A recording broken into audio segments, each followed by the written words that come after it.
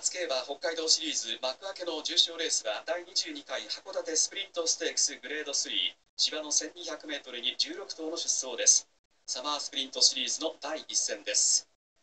実況席の解説は橋本敦美さんです。さあ今日はたくさんのお客様が詰めかけまして、はい。えー、幕開けの重賞競走函館スプリントステークスということなんですが16頭と頭数揃いましたですね。そうですね、はい、あの3歳馬もね去年より増えてますしね、はい、あの非常に見応えのある競馬が期待できる中でも G1 フォースのコパド・リチャードが単勝の一番人気ということになりましたですね。はい、そうですね。まあ、はい、何より昨年高松宮記念の、ええ、覇者ですしね。はい。あの仕上がりの方も非常に進んでるようですからね。そうですね。はいただですねあの昨年のその G1 をタイトルを取った後ちょっとね足踏み状態が続いているということでコバのリチャード、はい、ここは何かこうきっかけをね掴む一戦という感じにしたいですよねそうですね、はい、まあ、洋芝力のパワータイプなんですのでね、えー、まあ、洋芝という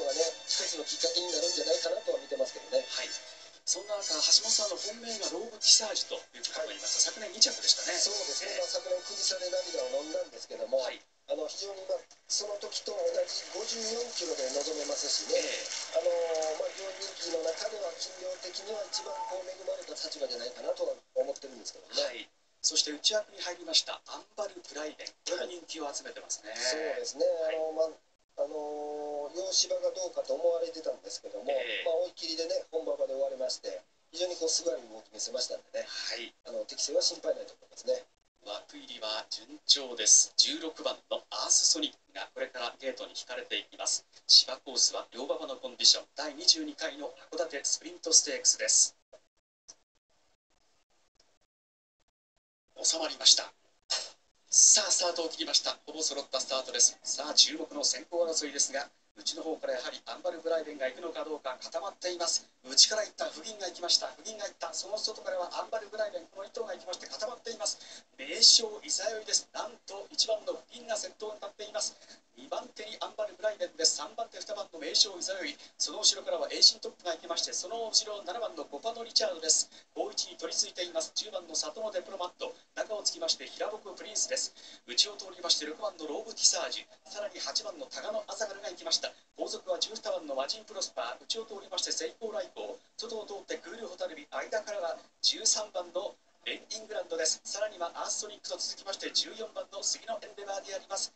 そして後方もう1頭遅れています。4直線コースに入ろうというところですがさあこの辺り先頭まだ粘っているがアンバルブライデンがアンバルブライデンが先頭から200を切りました。天然遠心ドップ外からやってきたのがなんと9番の T ハーフだ。T ハーフ現在2連勝中。T ハーフ突き放した岩新3発リード2番手のとは大混戦とのが16番アーストニック。先頭は T ハーフ3連勝で重賞制覇。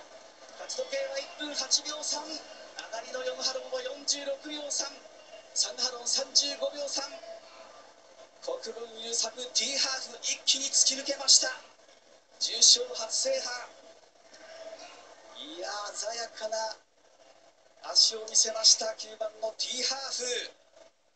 そして2着争いは大混戦になりましたが。いや橋本さん、はい、橋本さんがパドックはこの T ハーフ非常にね高評価でしたけれども。そうですね、えー、まあ、今日はちょっとねダッシュがつかずにこう最高峰からという競馬をね、はい、まあ、強いられたんですけども、えー、4コーナー上がってくる時の勢いがもうすごかったですね。はい、はい。これで3連勝、重賞制覇ということで、非常にこの後も楽しみですね。そうですね、えー、まあ